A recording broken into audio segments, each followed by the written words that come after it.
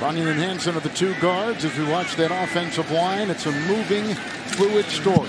Third down and four for Love. A lot of traffic. Winfree on the cross. Got the first down. On the fly, near the 41. Easy throw, terrific catch.